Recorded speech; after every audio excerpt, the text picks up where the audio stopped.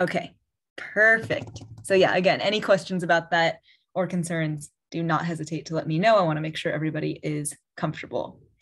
Um, cool. So without further ado, hello everybody. Um, for those of you who do not know me, um, and I believe that's actually just one of you today that um, I don't believe I know. So welcome. Thank you so much for being here.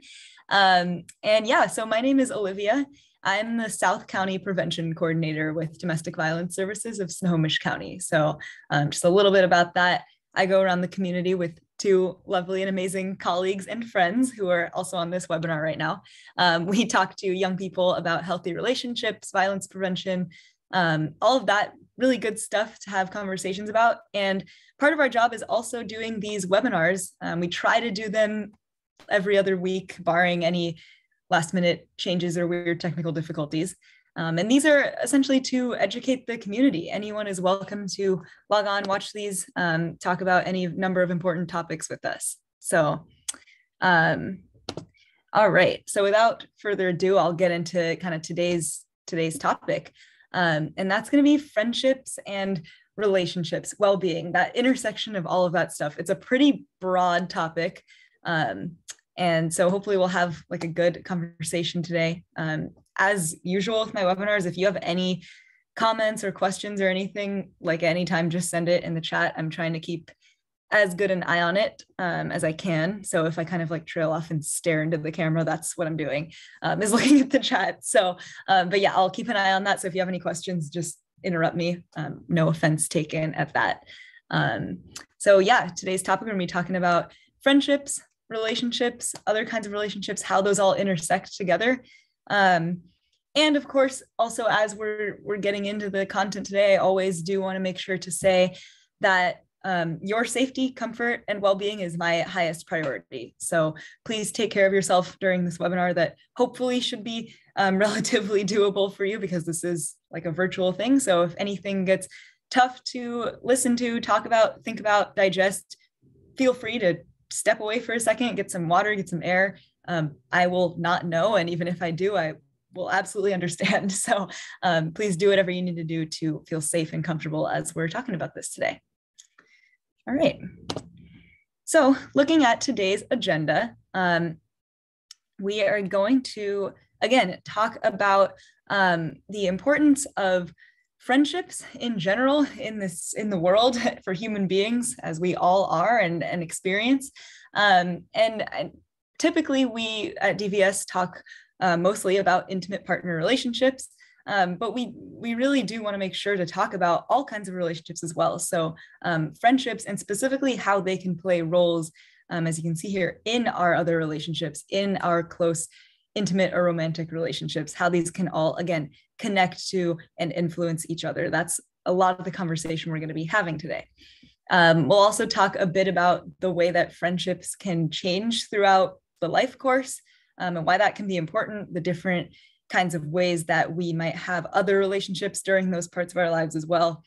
And again, how our friends can be a part of that, impact that, not impact that, what have you. We'll talk a little bit about some other um, factors that are, are related to this conversation. Um, we're going to talk a bit about loneliness and entitlement as a part of this conversation. So, again, we are talking about friendships and relationships, but that's a pretty broad umbrella. Um, and so, we are going to touch on a couple other things that I at least think are relevant to having that conversation. So, hopefully, it should be interesting um, and engaging and, and, again, hopefully relevant. We are going to talk a little bit specifically about some of the phenomena associated with friendships, loneliness, and men's experiences in particular. Um, I do think that's an important like facet to touch on in this in this conversation and, and dialogue. And then yeah, we'll look at some of the like implications of all this. Why does it matter? Why are we talking about it? How does it relate to us, our agency, the work that we do? And also, before we dive in even more, I do want to take a second to say that it is October, in case you didn't know. Um, and that also means that it's Domestic Violence Awareness Month this month. So, even better reason for you to be here today. Again, thank you so much. Um, and so, this month, even especially more than ever, any useful information that you learn today in this webinar or if you go onto our YouTube channel, if you just look up Domestic Violence Services Snohomish County YouTube, you can find any of our other webinars from previous weeks and months on there as well. any useful information that, that you learn or hear about um, or kind of find on your own about DV, um, share it, share it with others, share it with your friends, your family. Um, this is again Domestic Violence Awareness Month. We want to make sure that um, word gets out in the community, that people are educated, that people can feel safe um, and, and healthy in their relationships that they're having. So with that, um, let's jump right in here. Cool. The first thing we're going to be talking about is pretty simple. we're just going to be talking about friends. Why are friends so important? What are the origins of us as human beings having friendships? And again, if you have any thoughts at any time in the chat, if anything like comes to mind, we're like, oh, I've heard about this one thing. Um, I read this article once and it relates to this. Feel free to share it. Um, I love having people chime in. So that's just an open invitation. But we're going to talk a bit about why are friends important? Why do friendships matter? Right. So, one of the main things that we talk about and think about, particularly in our field with friendships and relationships like this, is support. Right. Friendships provide a very unique um, type of support that might be a kind of support that's different from ones we might get from maybe family or a partner or a professional, right? Um, friendships have this really unique and hopefully really special and, and powerful um, support power that is super important for people. Um, it's also having really important and meaningful friendships can be a, a really key way in which people find purpose and meaning in their lives. And I know that sounds like some a crazy statement. That's kind of a lot, but it is true. Um, the friendships and um, other kinds of relationships that we make with people like that, um, they do give us meaning. They give us purpose, um, and I think that's that's really cool and really powerful. And it's a very unique relationship to look at. Um, maintaining friendships and kind of keeping up with friends, having strong and powerful and empowering friendships is also actually associated with physical health, um, physical health and longevity. It's been it's been known and proven to um, again improve those physical functions as well. So I think that's a cool thing to look at too. Is it's not just like oh great I have friends, um, but also that's actually helping my physical health um, and helping me thrive in all kinds of ways, which is really cool. And on the more sort of mental health um, side of things, it I think it's really interesting to note that having strong friendships, having close friendships, people that you can go to again, go to for that support, go to to give your life that that fullness and richness and purpose, um, that actually does boost your self-esteem um, as a person. That's something that's true, and it also works the other way, right? So if you have that higher self-esteem, then that capacity for those kinds of relationships does increase. So that's a cool kind of cycle um, of, of positivity, right? High self-esteem, close, powerful friendships. I think that's really important to note as we're having these conversations. And then just sort of from the, the evolutionary standpoint of why why friends, right? It is kind of a unique relationship. It's kind of a it's an interesting one, right? In the context of okay, we have our romantic partners, we have our family that we're tied to with blood, we have um, people that we have professional relationships with.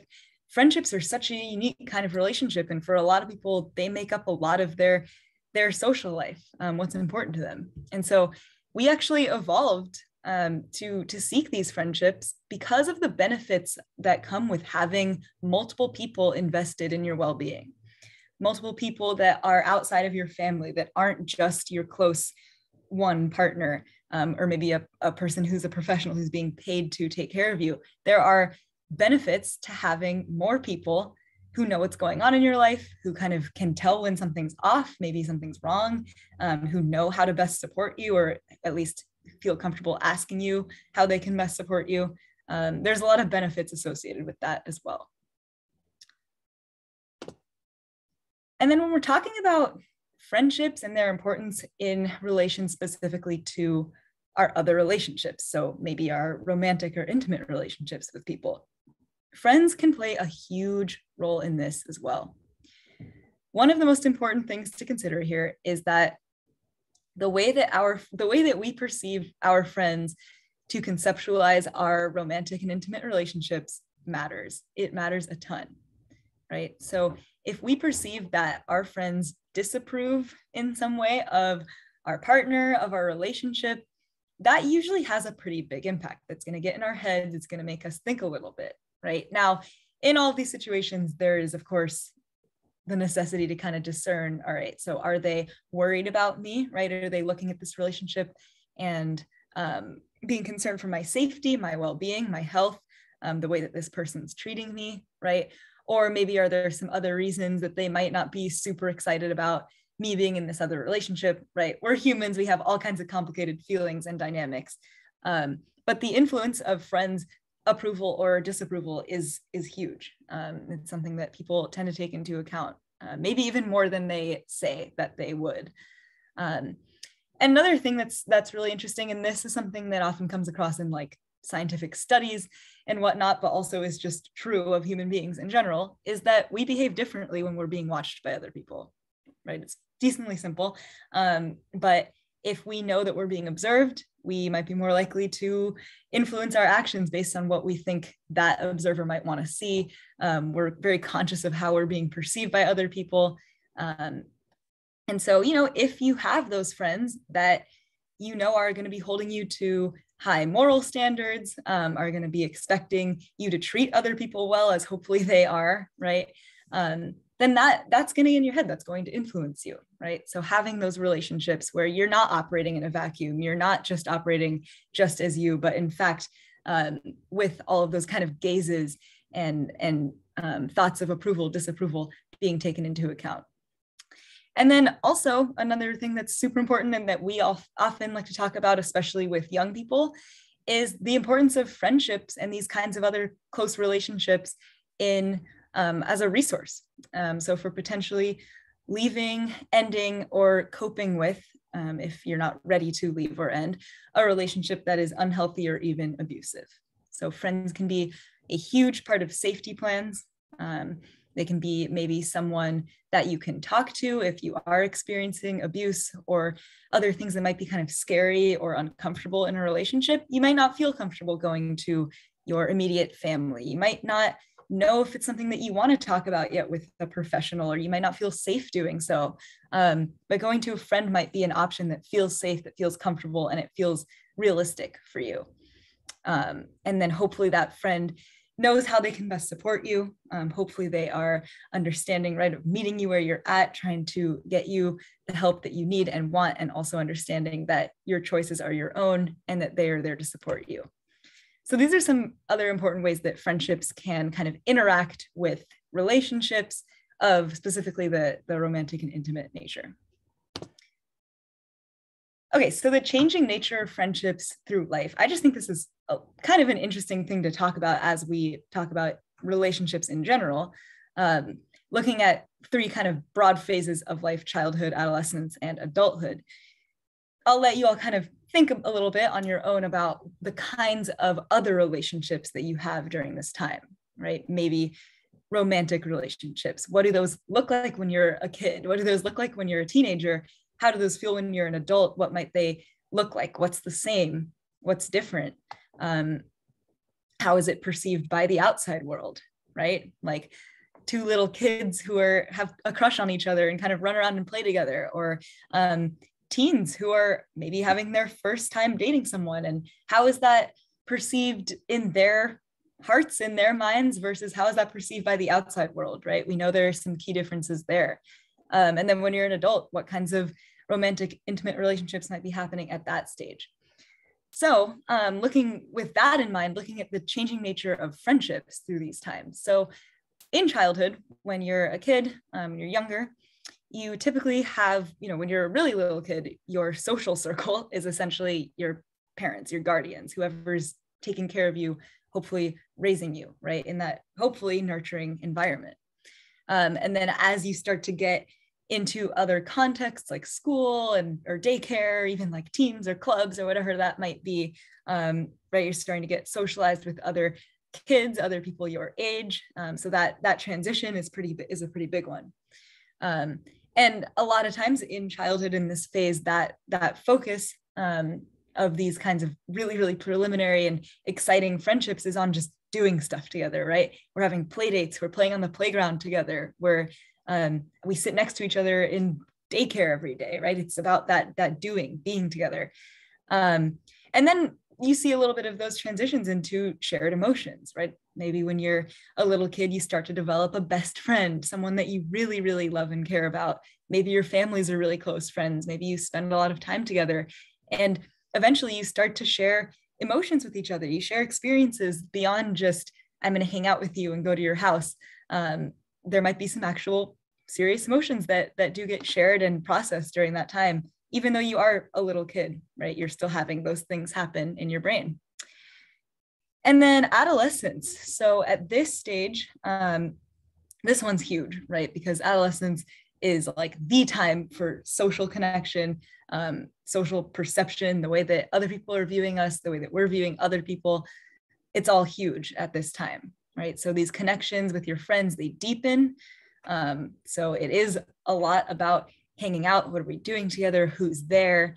Um, social statuses, all of that stuff. But it is also about um, deep connections. There might be some disclosure happening in some of these relationships that might not be happening with other figures in these teens' lives, right? Maybe they don't feel comfortable telling uh, their parents something or their teacher, but they feel comfortable telling their best friends. Um, and then again, that support this is a stage where we might see people actually reaching out to their friends for support first, right? That's it can be a really um, powerful group or setting in which to share things that you wouldn't feel comfortable sharing other places, especially because forming that group of friends is such an important part of identity formation at that age.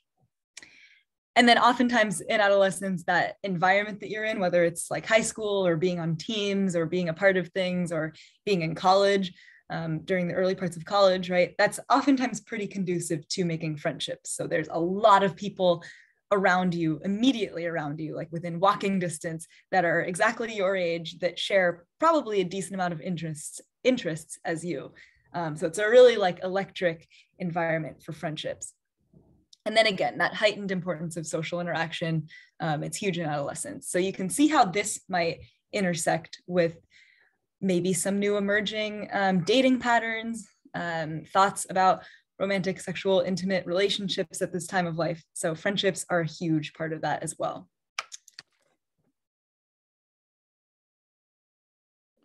Okay, and then looking at adulthood, um, so post-adolescence, this is a stage where we oftentimes see friendships actually kind of taking a back seat. So for usually the whole life up until then, um, friendships have been really central, right? When you're a little kid, forming these friends and then going to play dates, going to school, being with all your classmates, um, being in the dorms, right? Uh, being kind of surrounded by friends and having that be really, really a focal point. Now it kind of is shifting to those things are taking the back seat a little bit. They might come second to job priorities, maybe um, to romantic relationships, whether that's dating, um, hookup scene, whether that's you're married, right? It can look a lot of different ways, but those friendships might kind of um, fall by the wayside next to those things, especially if you and your friends are separated by physical and geographic distance. Um, if, you know, after college, you all move across the country or different parts of the different parts of the world even, um, it can be literally physically harder to see them. Another thing that becomes a little bit more apparent in adulthood, perhaps, than in these other kind of stages, is the really voluntary nature of friendships. Um, now, of course, other relationships should be hopefully both people willingly, voluntarily entering into these relationships, but there's something specific about friendships that really make it um, where you are maybe you're sitting in a in a full lecture hall and you really see someone and you're like hey um, can i sit with you? Can i share your notes? Right? You're really entering into those relationships um, very voluntarily. So it does make sense that when life gets busy when jobs start cropping up when other romantic commitments start happening um, those things might take a back seat sometimes. And then um, yeah. So that's kind of the the nature of that in um, regular regular adulthood. That's a weird way to put it, but I guess like middle age, post college, post adolescence. Um, and then that once we enter that phase of older adulthood, so maybe like post retirement, um, all of that stuff, then those other demands might kind of decrease. Maybe, you know, uh, those job demands, right? If you're retired, um, romantic demands for whatever reason, right? Um, any of other kind of adult commitments that you might have. Maybe some of that's been taken off your plate and you have a little bit more time now in your life to um, reconnect with old friends, make that more of a central priority again. So, of course, this is not how everybody's life goes. No two people are exactly the same, but these are some patterns that do happen that I think are pretty interesting to look at and to notice um, as we're thinking about like the romantic kinds of relationships that we're having at these stages. Cool. Does anybody have, I'm gonna give like a minute just to see if anyone has questions in the chat or anything at this point before we move on. And I'm also gonna get some water.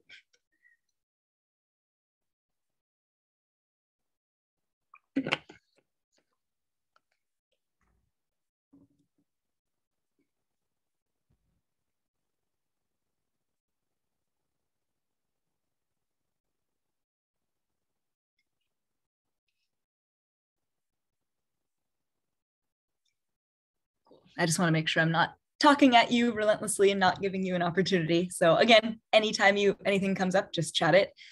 Um, and before I move on to the next slide, I did notice that I skipped something on this slide, so I want to address that really fast. And this is just one more one more facet of adulthood friendship dynamics that I think is super interesting. Um, and that's that a lot of times making friends as an adult, maybe you're also um, maybe you also volunteer on the same project. Maybe you are um, co-workers. So you kind of see each other naturally at these other things. Um, and while that's that's great it's super convenient it's awesome. It also sometimes means that that friendship making muscle can atrophy a little bit. Um, you're not necessarily thinking about it in terms of i need to go make friends. I'm going to go make a friend on the playground right now right? It's more of oh like this is handy because my my kid's best friend's mom is really cool. So now we'll just see each other whenever our kids hang out. Um, so I think that's that's an interesting way to think about adult friendships too, um, and how that might kind of intersect with how are we having our romantic relationships? What are what are our marriages like? Um, how often do we see each other? Do we only see each other when our kids hang out? How does that impact the level of support that we're giving, etc. So I just wanted to say that before I move on. Okay, so we're going to shift gears just a teeny bit and we're going to talk a little bit about loneliness. So, loneliness is a big word. Um, a lot of things might be coming to mind. And I just want to kind of address how I'm going to be talking about loneliness today, and then we'll talk a bit about how it's related to all of this. So, even with these little like cute pictures that I've included on this slide, um, I think that that actually gets really at how a lot of people tend to think about loneliness, which might be something like, you know, I have no friends, or I really just like don't see anyone all the time, right? That can absolutely be a part of loneliness. That physical isolation, you're feeling kind of cut off. Um, you don't really see people. Maybe you don't feel like you have a lot of friends. Um, and that can be really heartbreaking and, and hard and difficult um, or and sad. And so that can be a huge part of loneliness. But I think before I even talk about some of those other stuff, it's important to note that loneliness is perceived social social isolation. So perceived or existing so social isolation. Well, it's kind of a tongue twister. Um, and the feeling of being cut off from other people. So we can see how that that might line up really well with that that image that we might be having of like someone being alone in their house with no friends. Um, but important that that's not always the case, right? Some people are totally content living their life that way, right? Some people have maybe a couple friends they see sometimes. Um, after a work day, they really like to just come home and have a quiet house and not really talk to anyone. And they're pretty comfortable with that, right? There are also people who might have a million connections, right? Who you might think of as um, they have a million friends, they're always doing things that doesn't necessarily mean that they could not feel cut off from other people, right? When we're talking about loneliness, we're talking about that feeling of being cut off from people, that perceived isolation, even if it is a way that you feel inside and not necessarily reflective of how many individuals are around you all the time. Maybe you live with like 10 people, but you just don't really feel connected to any of them, right? So it's absolutely a possibility. And loneliness can be really difficult, really challenging, and, and can have some really interesting and, and sad consequences. So, um, kind of like when we're talking about rich and empowering close friendships, loneliness can also have an impact on both mental and physical health. Um, these these feelings of stress that are associated with again that perceived isolation that feeling of being cut off not relating to anyone those feelings can weaken your immune system make you more susceptible to illness and loneliness has even been associated with premature death. Um, so i think that's super interesting. And again it's not to say like if you don't have enough friends you're going to die soon. Um, it's more about these stressors these really real and challenging feelings of i don't feel like i have anyone. Um, that can weigh a lot on your mental and physical health. Um, another reason that loneliness is so important to combat such an important issue to address is because support is so important for us human beings in our lives and in our relationships right? So it's super important to have support when we are going through a challenging experience whether that's in a romantic relationship or in any other kind of relationship or even in an external thing like a job or a move or some other big life event um, it can be so it's it is so important to have support there. And then also in the good times right? You want to have someone to celebrate with um, someone to tell about exciting things that are happening. Those are super important things too and important not to not to write that off. And then another reason that i think really it's really important to discuss loneliness when we are talking about friendships and relationships and the impacts that they can have on one another is the idea of perspectives. So, when you're trying to make a difficult decision, um, maybe you are having feelings about breaking up with someone you don't know maybe you feel like you want to do it you're not really sure how it's a hard hard decision to come to um, that can be really important to have another perspective, an outside perspective there, someone to, again, support you through that. You can see how these are all connected. Um, maybe you're experiencing a moral dilemma. Maybe you're like, I just, I feel weird about this. I don't know, like this person's doing this thing. I'm not sure if it's right. I could really use my best friend's input on this. And then, of course, for again, evaluation of behavior and of situations, both of other people and of ourselves. So we talked a little bit about how important friendships can be in helping someone either cope with or end a relationship that's unhealthy or abusive. Um, so that friend might be really instrumental in that process of, hey, um, you know, I, I, don't like the way that they're treating you. Um, I think you deserve better. I think you deserve to be safe, all of that great stuff. And hopefully, we also are making and keeping friends that are um, keeping us in check as well, right? Hey, I don't like the way that you're talking to your partner right now. Um, you know, I, I don't appreciate that. I don't think that's cool. And so having these perspectives can be super, super important as well um, when we are talking about, again, not physically how many people we're surrounded by, but more how comfortable do we feel with the people that we do have? Um, how how much do we feel like we are connected to the people that are around us, whether that's two people or 200 people? Cool. And then the next little topic we're going to talk about is entitlement. Um, this one is also really, really fascinating to me. Um, and in this context, I mean, I know this word can mean a lot of things and have a lot of different um, ways in which it's used. But today we're going to be talking about it a little bit in terms of how can loneliness be harmful, not only to the person who is, is experiencing it and who feels lonely, but also to other individuals um, to a community, to a society, right? That's how we're going to be mostly looking at entitlement today. All right. So um, when we're talking about entitlement, we are talking about an attitude, right? And usually that is a, a flawed outlook, a flawed attitude of I deserve this thing um, because of XYZ reasons. Usually it has to do with superiority, it has to do with control, as we'll get into in a second. Now, it can get a little bit sticky because, of course, as human beings, we all deserve certain things. Now, this is not to take away from that, right? We all deserve love, respect, kindness, safety, equality, especially when we're talking about relationships, right? We deserve to be treated with love and respect. We deserve to have our needs be listened to and met just as equally as the next person's and the next person's. So those are things that we, as human beings, just because we exist, do deserve. Now we're talking about entitlement. This is something a little bit different. So let's connect it just a bit to this idea of loneliness, of feeling cut off from other people, of perceiving that um, other people maybe don't get you, that you don't have any connection with the outside world with other people. And while that can be absolutely heartbreaking and devastating for you, for this individual who's experiencing that, it can also have some consequences in society, in a community, and to other people.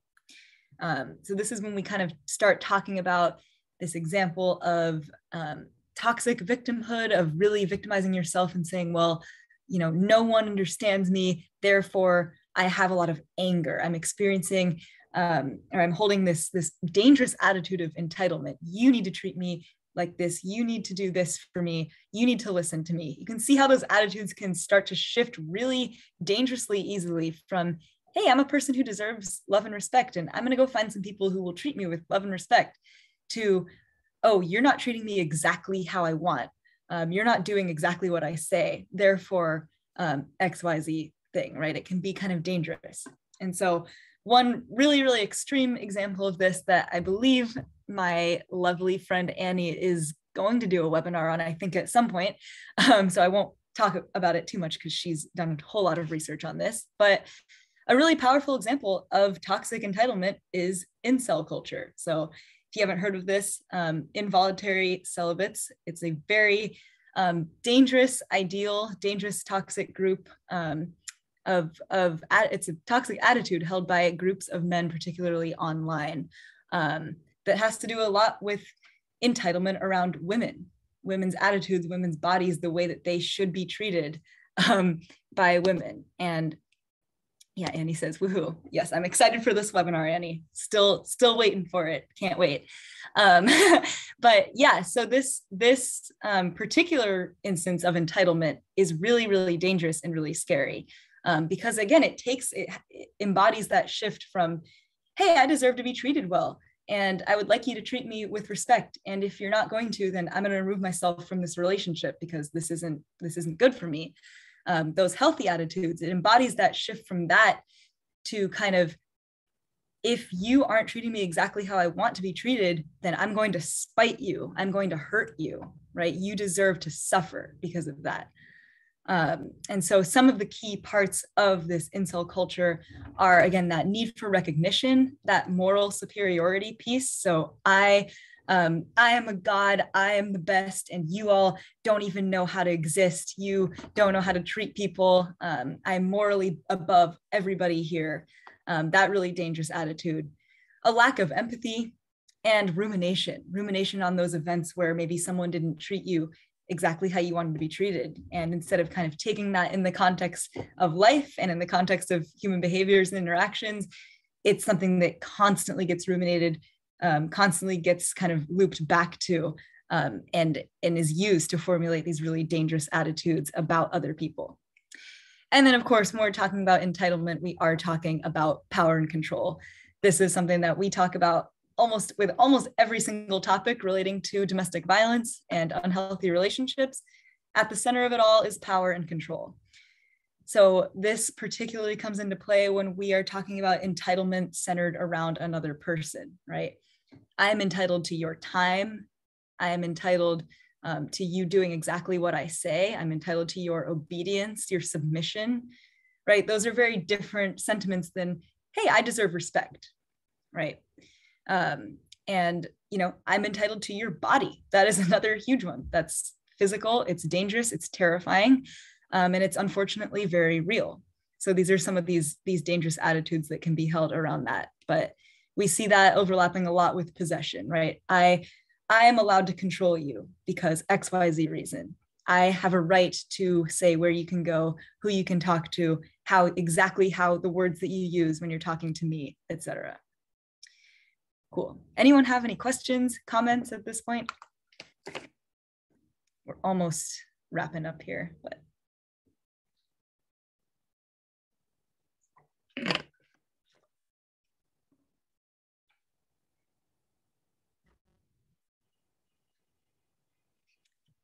There's a car honking outside. Hopefully you can't hear that.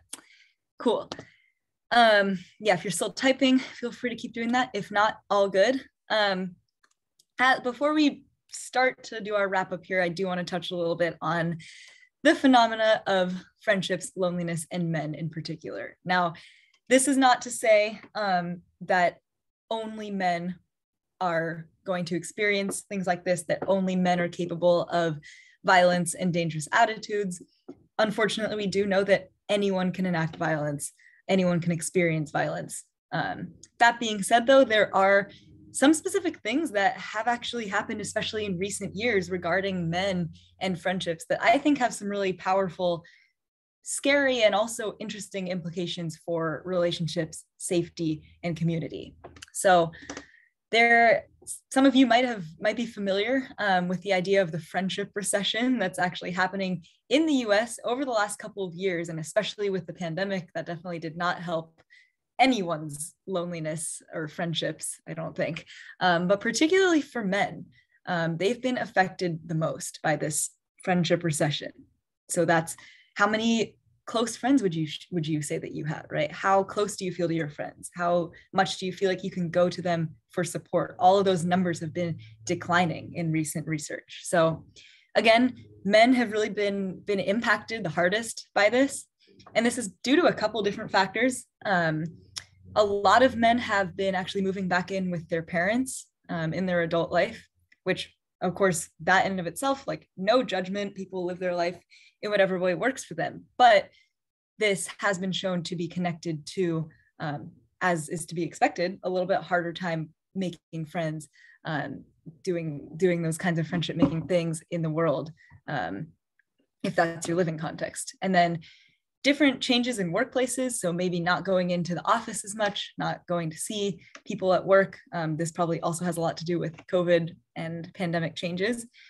And then, of course, the huge one is socialization. So, the way that we socialize um, men and young boys um, growing up to suppress their emotions, um, to not be vulnerable with friends, to not share, um, express love and care and tenderness with their friends, um, the way that that has been taboo and kind of cautioned against for for young men um, does not bode well for them in their adult life in terms of this this friendship recession this drought that we see happening. And we're talking about men's interactions with their friends. So again men are much less likely to be emotionally vulnerable with their friends to express to their friends that they love them. Um, that number is much much lower for men than women. And one in five single men report they have no close friendships so I just want to kind of let that sit there for a second. Um, one in five feels like a really big number to me. And this is the stat that actually inspired this whole webinar. Um, I, I, had a friend read an article to me where she she told me this like earlier this year. And I kind of, you know, I was I was at work at the time and I kind of stopped in my tracks and I was like, that's terrifying. Um, it's a, it's really sad for these one in five men. Um, but to me, my kind of DVS brain was like, that's really scary that scares me because we know how people behave as we've just talked about for the last 45 minutes. We know how people behave when they feel cut off from other people when they feel alone misunderstood um, you know when they feel taken advantage of.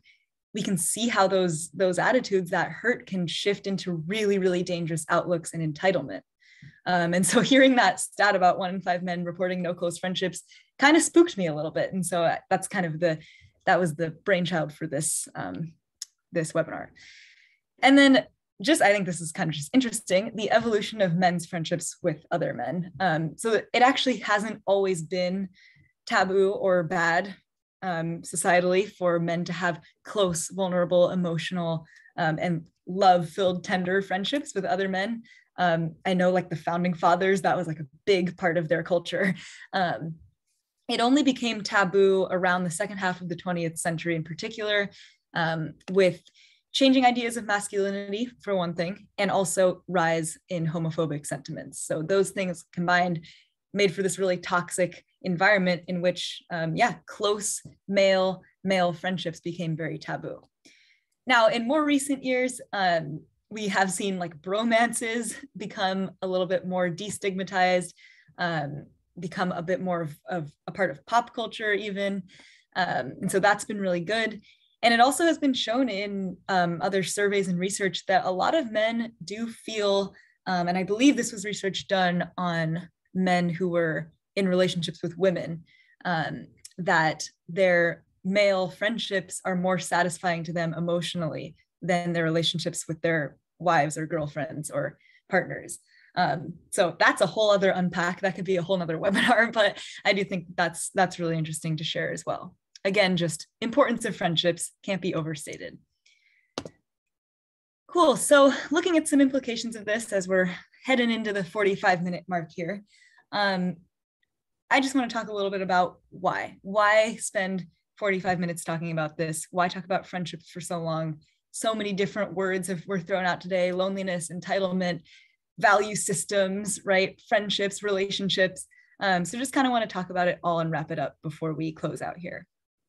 So the implications for violence, right? We do know that men who feel, who are strongly influenced by um, gender roles that they report to feel suffocating, these men are seven times more likely to use physical violence and two times more likely to have suicidal thoughts. So this is kind of where we, this is the, the stat that I tend to direct people to when um, explaining the phrase, right, the patriarchy hurts everybody, right? And we're talking about these gender roles, um, these really stifling attitudes. We tend to think of them oppressing women, oppressing non-binary people, which is absolutely true. Um, but we also want to think about, hey, you know, this isn't good for men either, right? We don't want men who are seven times more likely to use physical violence, who are going to use violence on themselves, right? That's not good. That's not healthy. Again, that entitlement attitude, entitlement to power, control, entitlement to sex. Um, again, looking back at that incel culture, that really, really dangerous um, kind of online culture, entitlement to superiority over women, over partners, over children, over anyone, right?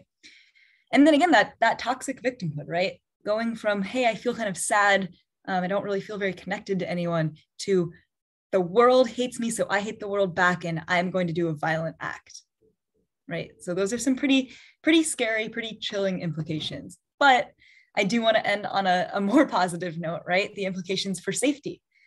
Friendships are so important as support systems. We talked about this earlier. Um, friendships in safety planning, friendships in support, friendships in disclosure. These are all huge in talking about abusive relationships, but also just anything that happens in the world. Again, having an outside perspective. So, someone to be like, hey, I don't think this is normal. Or, hey, I think you deserve to be treated better. Or, hey, you need to not treat that person like that. That's not cool. Um, so that kind of gets into, again, this third bullet point checks on behaviors and actions. And then important for combating loneliness and isolation, right? Even these implications for violence aside, we don't want people feeling lonely. We don't want people feeling isolated, cut off, and misunderstood um, because no one deserves to feel like that at the end of the day. So, want to make sure that we know friendships are super vital in combating that. All right, so that pretty much wraps it up. I want to take a second to um, make you stare at all of these links that I have here. um, a lot of research and a lot of other people's really cool hard work went into this, so I want to credit them all. Um, and again, this will be on YouTube in a few days, so if you want to look more at this, please feel free. Um, and yeah, that's it. That's all I have for you today. So thank you so much again for being here. If you have any questions, please reach out to this email um, we monitor it very closely and you will be hearing back from us, so don't hesitate. Um, and then, of, course, of course, if you do need um, immediate assistance, so if you're worried about yourself, if you're worried about someone that you care about, if you just have some questions that you want answered, um, please feel free to reach out to our support line. This is 24 hours, um, totally confidential, totally free. That's 425-25-ABUSE um, or 425-252-2873. So without uh, anything else, I think that's all I have for you. Um, thank you so much again. If you have any questions, I'll hang out for a couple more minutes, but have an awesome rest of your Friday.